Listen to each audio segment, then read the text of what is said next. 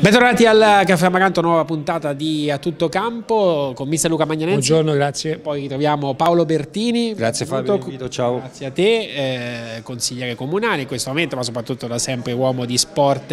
e di calcio vicinissimo ai colori Amaranto. Eh, c'è stato questo pari, uh, non so, rispetto ad altri che hai visto in casa, poi ovviamente parleremo anche di tutte le questioni insomma, che sono d'attualità eh, a livello insomma, di, di, del dibattito di questi giorni, a livello societario. Sabato c'è stato l'atteso eh, CDA, dopo i segnali di distensione che c'erano stati, anche nell'intervista che avevamo fatto alla Cava settimana scorsa, pare che però siano rimaste un po' così le posizioni quelle eh, di partenza. Comunque eh, ritorno sulla partita invece con il mister che deve parlare di partita eh, rispetto ad altri pari che hai visto in casa col fatto anche che mancava Bruno Ori, quindi sicuramente diverso dagli altri, eh, come hai visto la squadra? Ma, eh, incontravamo una squadra tosta perché il Novara, non scordiamoci, erano delle candidate a ripescaggio in Serie B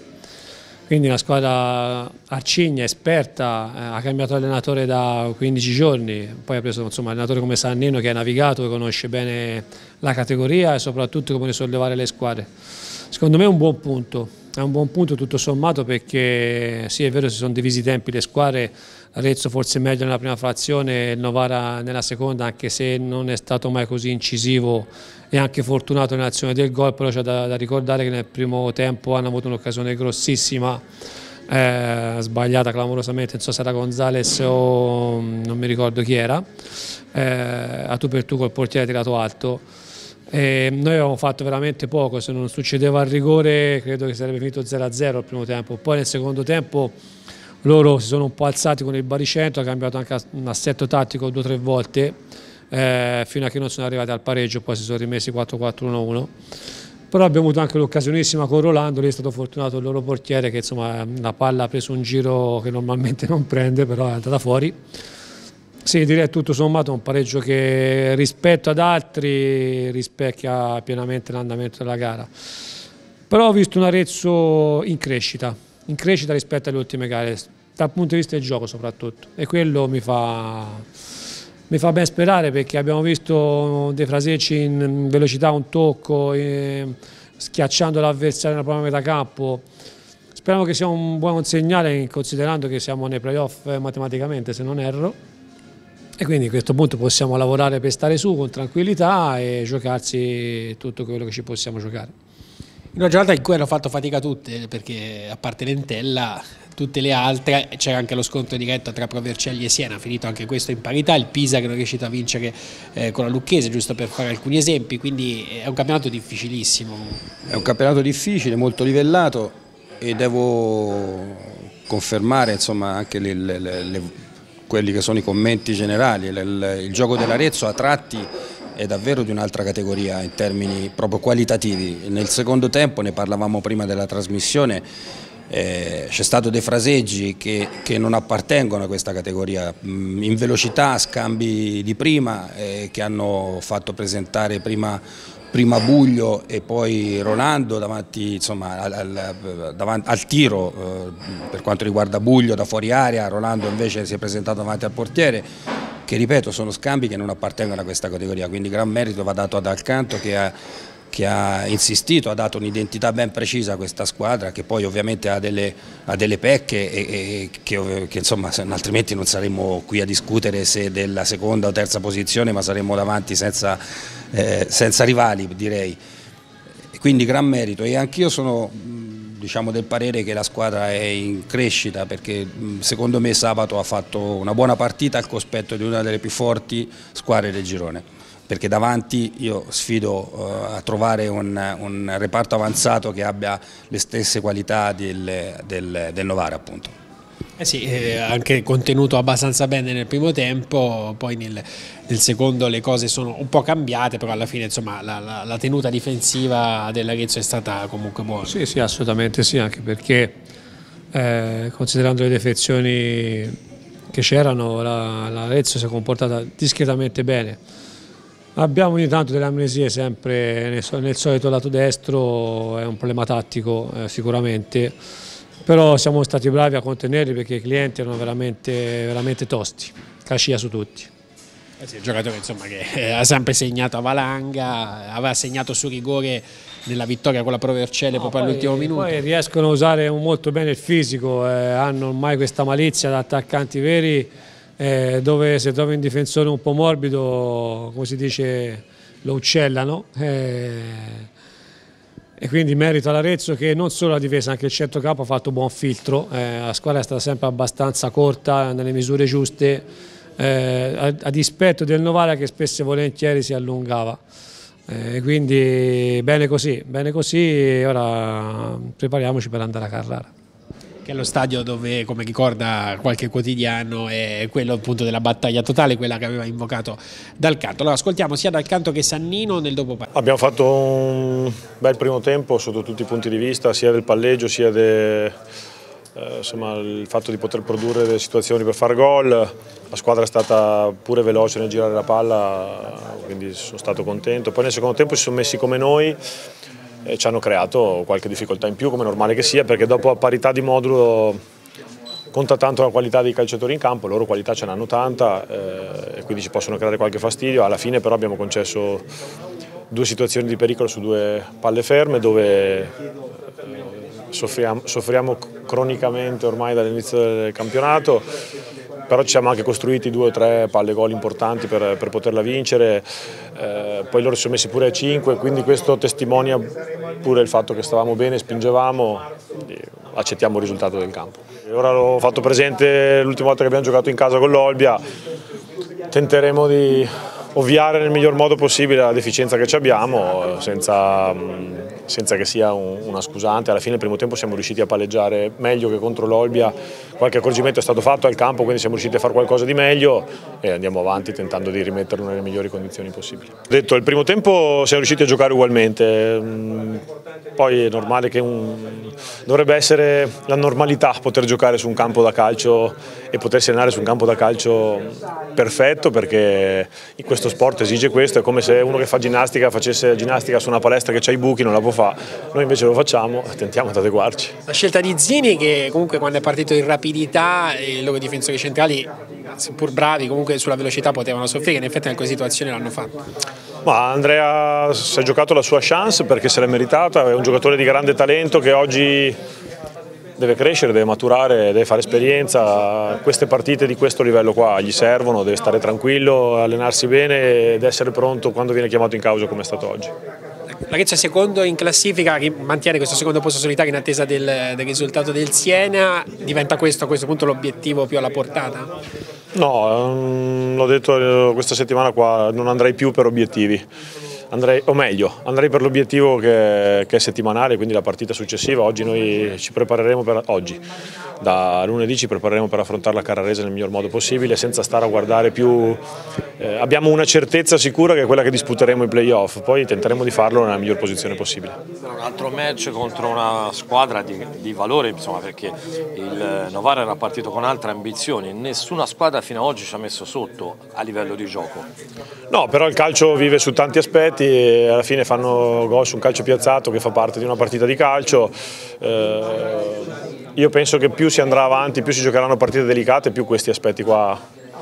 avranno un peso importante sull'andamento di una gara, quindi chi ce l'ha, giocatori o capacità di poter eh, tirare fuori il coniglio dal cilindro anche quando non gioca benissimo c'è un vantaggio. Beh, è stata una partita a due volti, primo tempo dove il Novara non ha mai giocato, Abbiamo visto giocare di più l'Arezzo, abbiamo giocato sempre nella nostra metà campo, però devo dire che abbiamo fatto un gran secondo tempo, dove credo che abbiamo lasciato anche, lì qualcosa. Per quello che aveva costruito l'Arezzo nel primo tempo, qualcosa hanno lasciato anche loro, qualche situazione dentro l'area. Ma nel secondo tempo non, non mi ricordo una, una, situazione pericolosa da parte dell'Arezzo, mentre noi credo abbiamo lasciato qualcosa dentro l'area di rigore. È una partita di due volti, credo che il pareggio sia risultato più giusto. E la mia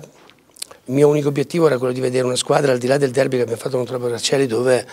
è facile costruire la partita per uh, tanti motivi, è un derby, l'adrenalina, sì, un cambio di allenatore, ma per me la, la partita era questa. E devo dire che vado a casa con un bicchiere a metà, cioè avrei voluto vedere la stessa intensità, la stessa voglia di fare nel secondo tempo anche nel primo, ma eh, mi sa che dobbiamo lavorare, e dobbiamo capire che per arrivare a fare quello che noi vogliamo anche sperando dopo, dobbiamo non partire dal secondo tempo ma tutta la partita. Bah, io, io, prima di parlare dei playoff penso sempre al prossimo allenamento che faccio e gli errori che abbiamo fatto le cose buone che abbiamo fatto da, da ricordare ai ragazzi e lavorare. E sicuramente l'Arezzo è una squadra che arriverà e se la può giocare anche per il primo posto, è una squadra che gioca al calcio in un campo che devo dire lo penalizza perché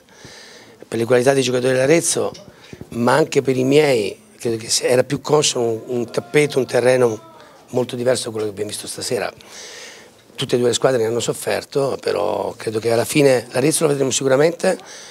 e Novara per fare quello che aveva prefissato inizialmente dovrà lavorare ancora un pochettino più duro dell'Arezzo. C'è stata la partita della partita con il pubblico. Beh, io credo che ormai, beh, io, io, penso che sia sempre una sorta di rispetto, passare inosservati lascia, mi sembra lasciare un, un po' di amaro in bocca. Il fatto che io ovunque vado, eh, voi per il mio modo di, di fare allenatore, di giocare con i miei giocatori, eh, capisco anche il pubblico avversario, ma l'importante è che si resti poi sempre nel, nel, nel normale, finita la partita, un arrivederci a tutti, alla prossima e ciao.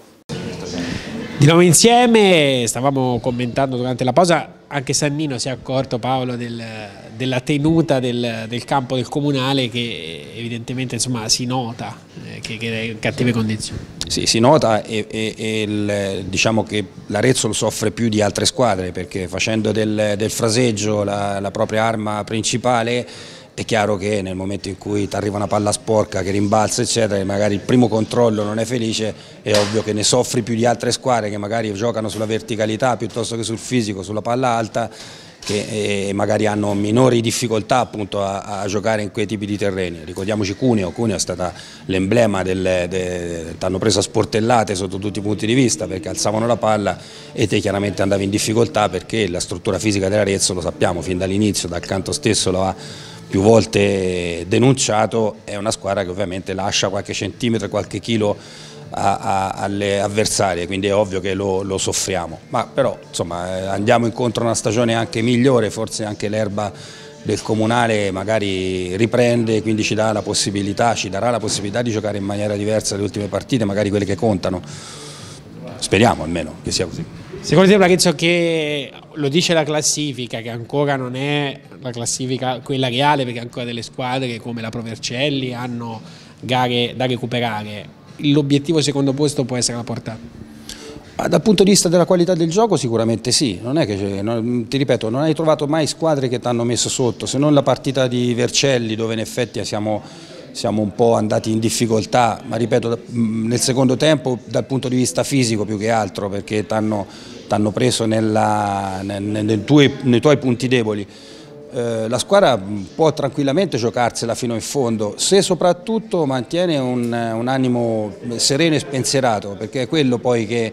che ti consente di, di, di arrivare a quelle, a quelle, mete in maniera, ripeto, abbastanza eh, spensierata. Se invece magari ti metti ad, a, a, voler cercare il risultato per forza, magari ad avere più pressione, la piazza stessa dà più pressione, magari ecco, qualche, qualche lacuna potrebbe venire fuori. Invece secondo me l'Arezzo è nella condizione migliore per potersi giocare questa fine di campionato e i playoff, da mina vagante verso tutte quelle che invece versa avevano preparato un campionato con, eh, diciamo, con ambizioni eh, a, a, a, luglio, perché insomma, ricordiamo che noi abbiamo quattro squadre che avrebbero dovuto fare il campionato di Serie B e, e altre che si erano attrezzate in maniera importante per comunque eh, giocarsela ai vertici, quindi siamo assolutamente nel, davanti a molte di queste e con la condizione psicologica di giocarsela nel miglior modo possibile, cioè quella di non aver nulla da perdere ma assolutamente tutto da guadagnare.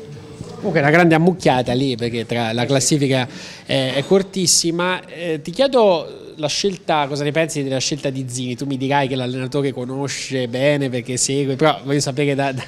dal tuo punto di vista e mi metto anche nei panni di Perzano. Perzano si potrebbe chiedere, ma neanche quando manca Brunori gioco io? No, no una domanda me la farei. È semplice la risposta perché te l'avevo anticipato nella trasmissione la settimana scorsa, ma non perché perché mancando un giocatore come Brunori ha necessità di avere un giocatore che abbia eh, le caratteristiche di rapidità che in questo momento ha Zini. Perzano sicuramente attraversa un periodo non felice a livello, a livello credo mentale, non tanto atletico. Zini ragazzino brillante, svelto, che ha dimostrato nelle ispezioni di gara in cui è stato adoperato e utilizzato che aveva delle doti notevoli, ha dimostrato con quei marpioni che l'hanno presa sportellate di poterci stare, anche perché era una soluzione eh, fisica rispetto a Cutolo e a Rolando diversa, essendo giocatori brevilini, quindi dotati di palleggio ma non di fisicità, lui ha tenuto botta e, e l'ha tenuta bene, tanto di cappello. Credo che sia stato insieme a, a Basit e a Serrotti uno dei meglio in campo nel primo tempo, assolutamente sì. Poi sai, alla, alla lunga si è fatto sentire il peso fisico della difesa del Novara, ma lui se l'è cavata egregiamente. Secondo me ha fatto veramente, veramente bene e come diceva qualche mm, persona in tribuna si sta facendo il callo per il proseguo. E dal canto ha sottolineato il gol preso ancora su, su calcio da fermo, tra l'altro c'era una differenza anche di stanza fisica, quindi in, dal punto di vista secondo anche del gioco. C'era fallo, c'era fallo in attacco da parte del Novara, forse molti non l'hanno visto ma secondo me era fallo in attacco perché... Cioè, quando ha, il, quello ha, ha trattenuto il nostro... Tartaglia tra, esatto. eh, prima di prendere palla. Esatto, tra, se ti guardi appena c'è stato il primo rimpallo, lui... Qui l'arbitro però, scusa, eh, sentiamo un attimo. Beh, ci può stare, non è che sono trattenute che, che ci stanno in area di rigore, che però vengono lette male in campo dall'arbitro, non è che devi essere nella posizione più felice possibile per, e quindi perpendicolare e non risponde mai a quella, nel caso specifico l'arbitro si trova dall'altra parte, quindi non la può vedere una trattenuta del genere. La interpreta come, una, come valenza fisica, no? vedi che il giocatore è, è, per, proprio per la differenza di stazza riesce a, a, a rimporre diciamo, la, la, forza fisica rispetto a, e quindi lasci andare se non vedi un fallo non è che te lo puoi immaginare, fischiare il famoso fallo di confusione eh, che è forse peggio che non... Eh, se, se, vedi una cosa la fischi, se non la vedi non la puoi, ripeto, immaginare. In questo caso probabilmente un fallo c'era o ci poteva stare, però insomma eh,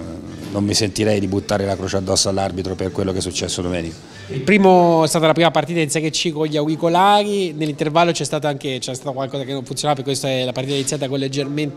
con un leggero ritardo. Un, pensi, pensi, che sia una, una introduzione utile? È assolutamente utile. Eh, perché mette in comunicazione, ora bisognerà vedere come la utilizzano perché sono strumenti, eh, eh, è uno strumento al quale questi arbitri, cioè questo, questo arb gli arbitri della Serie C e gli assistenti non sono abituati, quindi ci vorrà un periodo di rodaggio per arrivare ad un utilizzo ottimale che mi ricordo quando è stato introdotto in Serie A non è proprio rapidissimo.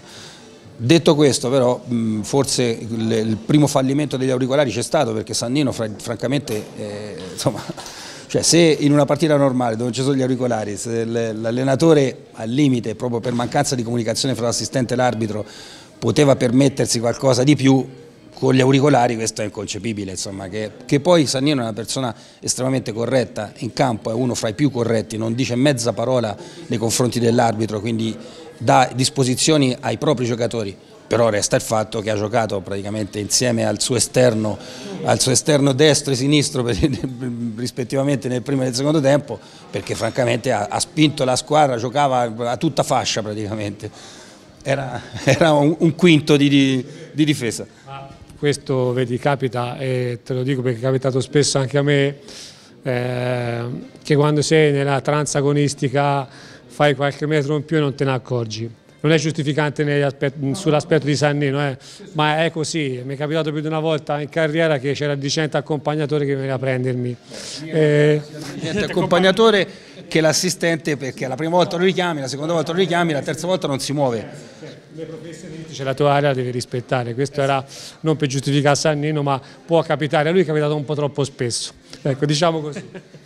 Sentiamo Rolando che ha fatto insomma, vedere delle, delle, buone cose e poi anche eh, le altre interviste a Foglia. No, eh, hai ragione te, soddisfa a metà perché comunque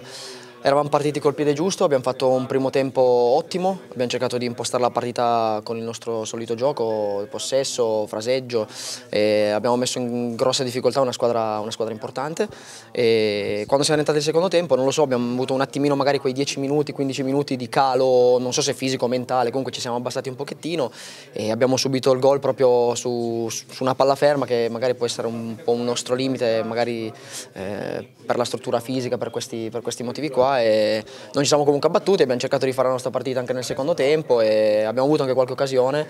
peccato che la palla non è entrata, però comunque abbiamo fatto una partita secondo me una buona prestazione, un'ottima prestazione. Ecco nel finale hai avuto no, anche tu la palla per, per i tre punti, raccontaci quell'azione, un ottimo contropiede. Eh no, me lo, stavo già, me lo stavo già sognando, sotto la curva, un gol da tre punti, ho detto bellissimo. Peccato che quando ho alzato la testa, anzi il portiere era già andato anche un po' giù se non sbaglio e con la mano di richiamo l'ha buttata in calcio d'angolo. Sarebbe stato bello, non è andata così, peccato, sarà magari per sabato. Ecco, un campionato questo dimostra anche il Pisa che non ha vinto con la Lucchese, è proprio difficilissimo, comunque l'Arezzo è al secondo posto. No, no, infatti io non avevo seguito i risultati, o meno, avevo seguito il primo quarto d'ora sono rientrato negli spogliatoi, ho visto che comunque anche le altre squadre hanno fatto, hanno fatto fatica e, e, il campionato è questo, ogni, ogni, domenica non si sa mai cosa, che sorpresa può venire fuori, noi continuiamo la nostra strada, siamo sempre lì e i conti li faremo poi a maggio, al 5 maggio quando sarà finito il campionato, dove saremo saremo. No, ci dà delle, delle, belle risposte perché secondo me abbiamo fatto la gara che dovevamo fare, una buona gara con personalità soprattutto contro una squadra anziana di giocatori veramente forti per la categoria. Abbiamo tenuto botta, al primo tempo penso che abbiamo fatto un'ottima partita, nel secondo abbiamo subito quelle occasioni che purtroppo ci, soffriamo di più come corner, come punizioni laterali, essendo una squadra non altissima, direi quasi bassa, eh, andiamo un po' in difficoltà, infatti su una di queste abbiamo preso gol, però penso che come carattere, come voglia di fare, anche di giocare, abbiamo fatto una buona partita. Ecco, 100 in Amaranto in campionato, insomma, è, un, è un traguardo che immagino ti renda orgoglioso, guardando al futuro, eh, che traguardi vuoi conquistare con questa maglia? Speriamo di farne altri 100, dai. Eh, no, sono, sono, contento, sono fiero di aver vestito questa maglia 100 volte in campionato, quindi speriamo ancora di toglierci tante soddisfazioni, spero di togliermi anche io con questa maglia. Al di là della classifica però c'è grande consapevolezza anche della forza di questo gruppo, perché a questo punto la posizione non può essere casuale, anche con il bel gioco che la squadra mostra. Sì, noi siamo ma lo diciamo sempre, siamo un gruppo affiatato, ci vogliamo bene veramente, siamo un gruppo che vuole, vuole arrivare, poi è chiaro che, che, il campo deve dare la sua risposta, però noi cerchiamo di mettercela tutta e dare il massimo e speriamo di fare felici i tifosi e, e anche noi stessi. Ormai sei qui da qualche tempo, questo gruppo che peculiarità in particolare secondo te come arma? Ma siamo spensierati dai, perché siamo partiti senza obiettivi di, di, grande, di grande, portata, ecco, quindi siamo, siamo, lì e vogliamo goderci e continuare a stare lì e, e dare fastidio a quelle su perché ce lo meritiamo. Di nuovo insieme qui dal Caffè Amaranto e allora adesso parliamo un attimo di questa situazione un po' ingarbugliata e mi rivolgo a Paolo, anche ti chiedo un parere per, per come l'hai seguita chiaramente dall'esterno questa, questa, vicenda ehm, perché comunque è una vicenda che oggettivamente antipatica soprattutto in una stagione sportivamente stupefacente. Eh, ormai è venuta fuori, è venuta in piazza, sabato c'è stato questo CDA, non ci sono state posizioni ufficiali tranne qualche piccola battuta di La Cava perché eh, è stato deciso il silenzio stampa sia per eh, La Cava e Anselmi hanno deciso di comune accordo di dire la loro, poi La Cava qualcosina ha detto, ha detto io il 16 pago la, il 79% quello che mi compete. Eh, come se ne può uscire? Perché sembra che da questo CDA sostanzialmente non, non è venuta fuori ecco, quella, eh, quella, sorta di cordialità ecco, che, che era emersa un po' sia dall'intervista che avevamo fatto settimana scorsa tutte e due. Come se ne esce non lo so, eh, francamente rimane, rimane duro eh, prevedere quello che potrà succedere nel prossimo futuro. Eh, da questo punto di vista è anche difficile interpretarla questa situazione perché è una situazione assolutamente atipica, qui c'è un, un, qualcosa che non è tornato fin dall'inizio mi sembra di capire, anche se denunciato successivamente rispetto a quando si è generato, cioè, un, io leggo, leggo eh, le informazioni che sono arrivate da, dai due interlocutori, più che altro per quello che riguarda informazioni di Lacava e Pieroni, che sono poi quelli che hanno con più frequenza esternato. Eh, e poi leggo anche quello che mi dice o che ha detto Anselmi. Eh, cioè, qui c'è stato un programma condiviso all'inizio dell'anno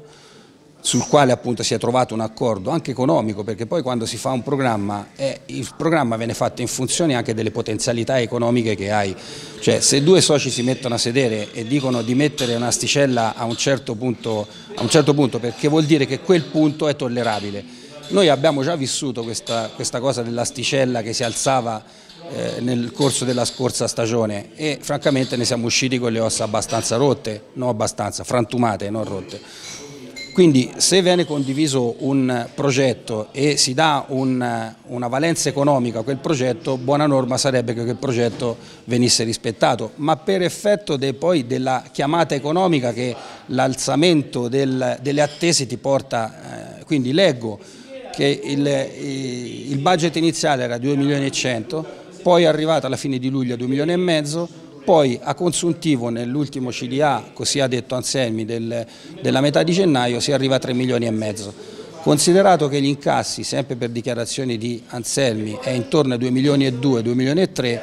eh, viene fuori uno sbilancio di 1 milione e 1 milione e 2. Allora, questo va bene se hai una proprietà che è disposta a mettere sul tavolo 1 milione e 2 all'anno per fare un campionato,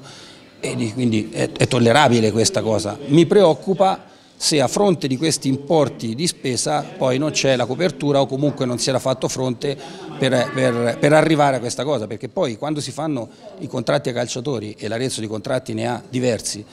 eh, c'è un numero che, che, cresce in funzione del, del, degli importi dei contratti.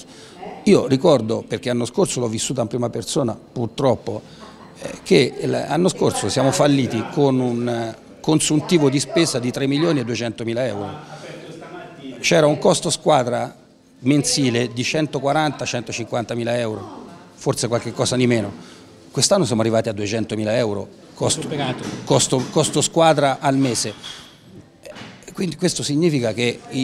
ecco, quello che non capisco francamente è come uscendo da una situazione di dissesto fresca dello scorso anno, quest'anno c'era la necessità di arrivare così, d'amblè, al primo anno e di fare un, un, un progetto così importante, con una valenza economica così rilevante. Per, per... Io poi non entro nel merito delle valorizzazioni dei calciatori che poi in fondo all'anno possono essere, ma prima della valorizzazione dei calciatori c'è da tirare fuori questi soldi, perché questi soldi servono durante la stagione e quindi questo no, non riesco a capire, quali fosse la necessità di fare un, un un, di, di, creare questa attesa così forte e di creare subito al primo anno della ripartenza, ricordiamolo ci siamo iscritti al, a, a, giugno noi, anzi a luglio abbiamo avuto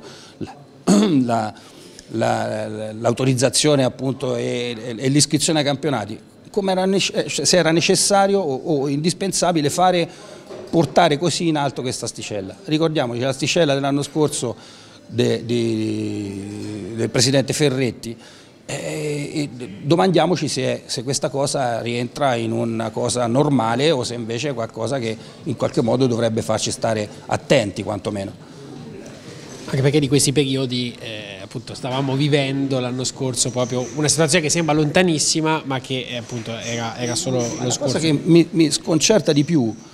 ripeto, tutti siamo tifosi dell'Arezzo, io, non è che voglio certificare l'attaccamento la, la, alla squadra, alla maglia, la, a questa squadra di calcio, perché ovviamente ognuno ha il suo percorso, io, io ho il mio e com ho cominciato ad andare a vedere l'Arezzo da, da, veramente da bambino, ero presente quando l'Arezzo retrocesse a Perugia nel 3-2, che Perugia, cioè, voglio dire, è una cosa, tutti abbiamo l'attaccamento, però dobbiamo avere anche un po' di razionalità nel capire fino a dove possiamo spingersi, perché poi è facile fare, ripeto, spendere, fa fare le squadre, organizzarle in maniera importante per fare anche campionati importanti, ma poi c'è bisogno anche dietro. E, e, noi avevamo avuto l'anno scorso un segnale per cui andavi in giro per la città e tutti ti dicevano guarda mi raccomando fate le cose che siano tollerabili, che siano sostenibili e noi al primo anno siamo andati già oltre rispetto a questa sostenibilità. Poi, per carità, io non faccio in conto, i conti in tasca a nessuno, men che meno a Giorgio Lacava, del quale ho il massimo rispetto, perché un imprenditore, una persona che investe nel calcio va assolutamente tutelata sotto tutti i punti di vista perché sono talmente rari, soprattutto quelli che hanno una passione così forte e sfrenata. Dico la cava per, per, per dire Anselmi che ovviamente è un aretino quindi a maggior ragione è coinvolto in questa cosa. Quindi noi dobbiamo tutelare queste persone che si avvicinano al calcio, tutelarle perché in qualche modo lo rendano sostenibile per gli anni a venire, perché se noi bruciamo un presidente all'anno non solo facciamo un danno in generale al calcio, ma lo facciamo poi anche alla squadra, perché poi nel momento in cui tu dovessi avere un cambio di proprietà, eh, eh ovviamente si trova a gestire delle situazioni comunque difficili. Ecco, è questo la, la domanda che faccio, era proprio necessario rientrare in una cosa di questo genere? Dopo quello che avevamo vissuto non più tardi di otto mesi fa, nove mesi fa? Francamente io avrei fatto, mm, diciamo, personalmente avrei preferito che ci fosse una, un, un, un, progetto mh, economicamente più sostenibile, magari più basso dal punto di vista tecnico, non lo so se poi i risultati sarebbero stati diversi o meno, non, il campo solo avrebbe potuto dare una conferma a questo, però avrei preferito che ci fosse magari qualcosa di diverso, io personalmente, poi capisco che magari c'è qualcuno che eh, ambisce a vincere quindi sta facendo il tifo per questa cosa, ricordiamo che però poi i conti vanno pagati sempre e siccome l'anno scorso l'ho avuto in mano questi conti dover rincorrere le, le pendenze che c'erano e andare eh, in giro per l'imprenditoria aretina a spiegargli il perché eravamo arrivati a questa cosa non è facile. Secondo te c'è un rapporto, perché eh, se stiamo a quello che ha detto Pieroni nella conferenza stampa, l'unica che c'è stata su questo argomento qualche settimana fa, lui ha parlato di avanzo di mercato, cioè lui dice per quanto mi riguarda il nostro mercato è in avanzo e quindi qui il problema è più che altro di mancati introiti, cioè non sembrerebbe esserci, stando alle sue parole, il legame tra la, gestione, la pesantezza della gestione e anche le ambizioni della squadra e il valore quindi della squadra, il costo. Allora io ti riferisco solo dati che ho carpito in giro, che vanno ovviamente interpretati, e alcuni dati che io invece ho, perché li ho presi in, mano io personalmente. La scorsa stagione abbiamo incassato 2 milioni di euro, 2 milioni, e non è poca cosa. Un fatturato di una squadra di Serie C, 2 milioni fra sponsorizzazioni, biglietteria, eh, minutaggio da parte della Lega. Quest'anno, a dichiarazione di Anselmi, che ho sentito recentemente, ha detto che i ricavi vanno da 2 milioni e 2 a 2 milioni e 3, dipende anche dagli incassi che probabilmente verranno fatti da qui alla fine del campionato. Quindi non mi sembra che ci sia stato un ridimensionamento degli incassi non so se qualcuno facendo il budget aveva pensato che questi incassi potessero essere, ma sarebbe stato un, un budget assolutamente campato in aria perché la storia degli incassi della società già l'anno scorso è stata un'ottima stagione dal, punto di vista degli incassi, sia di sponsorizzazioni che di, di, di, di ticketing, cioè di, biglietteria. Quest'anno abbiamo fatto meglio, hanno fatto meglio, nel senso che hanno incassato di più, perché c'è più minutaggio, perché gioca, gioca più giovani, perché c'è stata una risposta diversa da parte degli sponsor, c'è stata una risposta diversa da parte del pubblico. Quindi questo è il target sul quale dobbiamo lavorare. Se poi sopra, eh, ovviamente, se, se, questa sticella la si alza, è ovvio che eh, non, non ci stai più dentro, insomma, non è, ma non dipende dagli incassi. Gli incassi sono assolutamente in linea rispetto allo storico che c'è stato e sullo storico ti posso certificare che è così perché, ripeto, i bilanci della società nella stagione 2017-2018 l'ho rivoltati come un, e quindi li conosco a memoria. Questo è,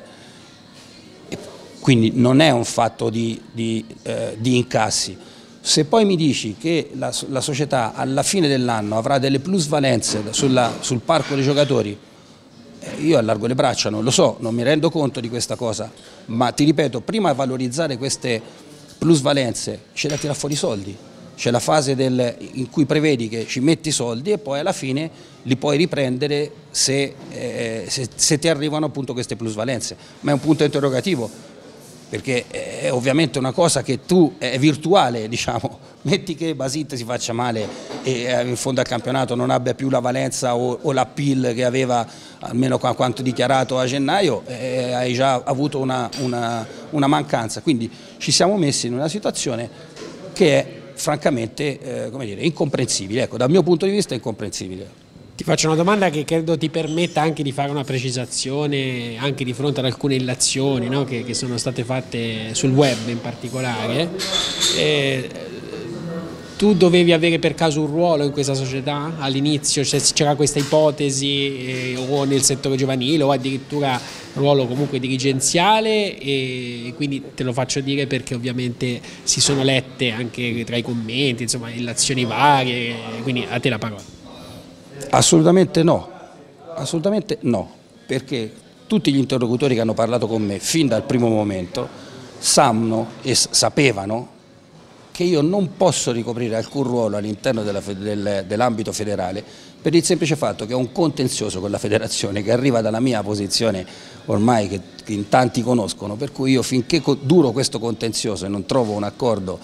con la federazione non posso essere tesserato, quindi non posso avere alcun ruolo in nessuna società. Chi dice queste cose o lo fa perché eh, è mal informato, ma non credo sia il caso di coloro che scrivono sotto pseudonimo in qualche, in qualche sito perché queste informazioni ce l'hanno, oppure hanno magari un interesse diverso a veicolare che qualcuno parla dietro la società, parla male. Come vedete non parlo dietro la società, faccio solo presente eh, alcune difficoltà che secondo me già da luglio dovevano essere riscontrate, perché quando eh, si, si, si, pone, ripeto, determinati parametri così in alto, è chiaro che poi durante la stagione ti arriva la pendenza economica che, che, che, dipende da quella sticella dove è stata posta. È un, un fatto matematico, no? non è che ti, ti, ti, se te prendi dei calciatori, che questi calciatori percepiscono stipendio, è facile fare una proiezione da lì al 30 di giugno e sapere quanto devi andare a pagare, quanto sarà l'importo che, che, sarà necessario per far fronte a quelle, a quelle cose.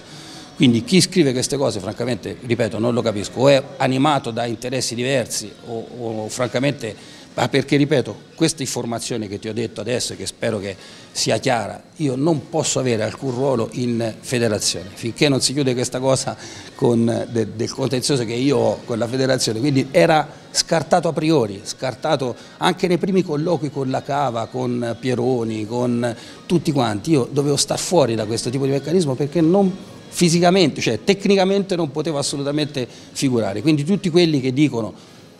che in qualche modo io sto fuori perché ho la, il sedere bruciato dal fatto che non mi hanno preso in considerazione, dicono veramente delle, delle cose senza, senza, senso. La domanda è perché lo fanno, che questo è un altro paio di maniche. Infine ti chiedo anche, se vuoi dircelo, un tuo giudizio, perché la base di una squadra, tutti dicono, tutti quelli che vengono qua, eh, abbiamo sempre sentito dire, la base è appunto un buon settore giovanile, è fondamentale per diciamo, per il benessere, per la sanità della società stessa, per dargli un futuro sano, robusto. Ci sono queste basi secondo te? Ma il settore giovanile è un ambito che conosco abbastanza poco. Vivo in città e quindi sento le cose che arrivano dalla città cogliendo alcuni aspetti che sono macro, cioè robe, eh, diciamo le informazioni di massima e so che c'è tanti giocatori che arrivano da fuori ed è francamente contro il principio che dovrebbe animare un settore giovanile di una squadra di Lega Pro come l'Arezzo, cioè il fatto che di valorizzare i giocatori del territorio, perché sono quelli che ti costano di meno, perché sono quelli che hanno un'affezione diversa, maggiore e che sono quelli di, di prospettiva. Il secondo aspetto che ho, che ho notato è che alcuni calciatori della scorsa stagione, che ripeto è stata dal punto di vista, vista dal punto di vista del settore giovanile, proprio perché l'ho vissuta, perché i, i, genitori di questi ragazzi si confrontavano anche con me, è stata non meritoria, di più, cioè questi ragazzi si sono sacrificati andando a allenarsi senza avere strutture, sono andati, sono andati a giocare le partite in giro per l'Italia tassandosi, mettendo dentro i soldi, ecco io a quei ragazzi la riconoscenza totale e, e, e completa da parte della città, della società avrebbe dovuto esserci. Viceversa ho sentito che molti di questi ragazzi sono, stati, eh, sono andati via, non, o per, perché non giocavano o perché comunque messi nelle condizioni di andare eh, da un'altra parte. E anche questo è un segnale che secondo me non, non, non, doveva starci, comunque che in ogni caso questi ragazzi, ripeto, per la riconoscenza, al di là dell'aspetto tecnico, non me ne interessa, so, parlo dal, dal, punto di vista da, da, da, Aretino, siccome erano tutti ragazzi che, del territorio di Arezzo, io mi sarei ricordato di questi proprio perché hanno, si sono frugati in tasca e hanno mantenuto viva la società. Ricordiamoci che se la società avesse ritirato le squadre giovanili ci sarebbero state conseguenze anche per tutto il resto, eh, per l'affiliazione, per tutto quanto. Terzo aspetto, dopo 30 anni vedo che eh, Umberto Benigni viene via dal settore giovanile, non so le ragioni, non le voglio sapere, non le conosco. Un altro segnale a me, francamente, mi, mi, che di preoccupazione ce l'ho, ecco, diciamo così.